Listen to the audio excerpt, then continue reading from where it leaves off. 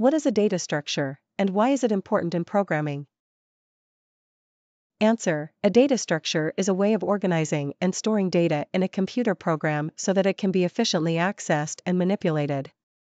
Data structures are essential in programming because they provide a framework for solving complex problems and allow for more efficient memory usage and processing speed.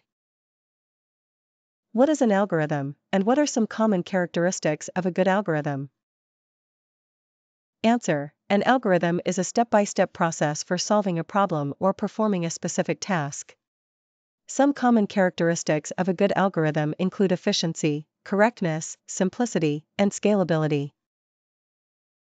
What is the difference between an array and a linked list, and when would you use each data structure?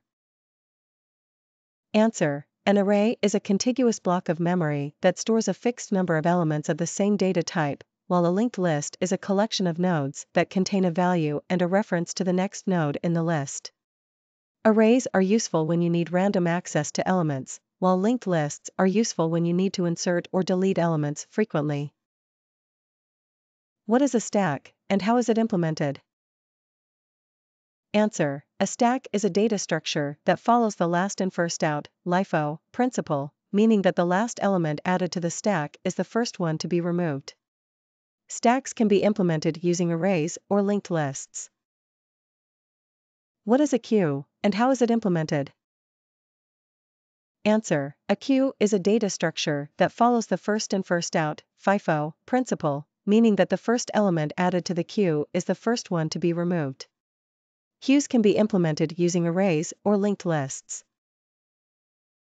What is a binary search, and how does it work? Answer A binary search is a search algorithm that works by repeatedly dividing the search interval in half. At each step, the algorithm compares the middle element of the interval with the search key and either continues the search in the lower or upper half of the interval, depending on the result of the comparison. Binary search is a very efficient algorithm for searching sorted arrays. What is a hash table, and how is it implemented?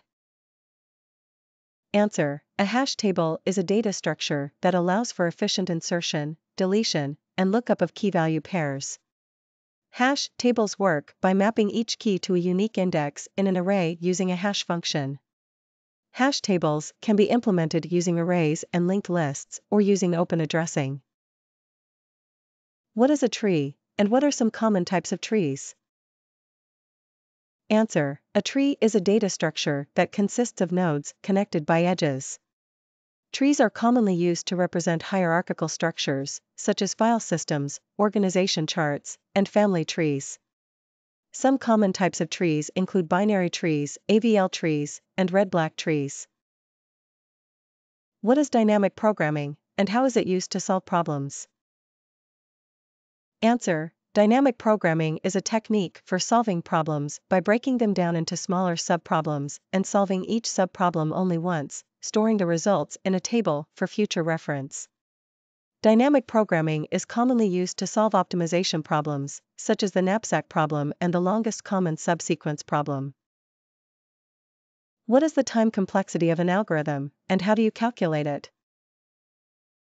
Answer the time complexity of an algorithm is a measure of how its runtime scales with the size of the input data. Time complexity is typically expressed using big O notation. To calculate the time complexity of an algorithm, you can analyze its control structures, loops, conditionals, etc., and count the number of operations performed in the worst case scenario.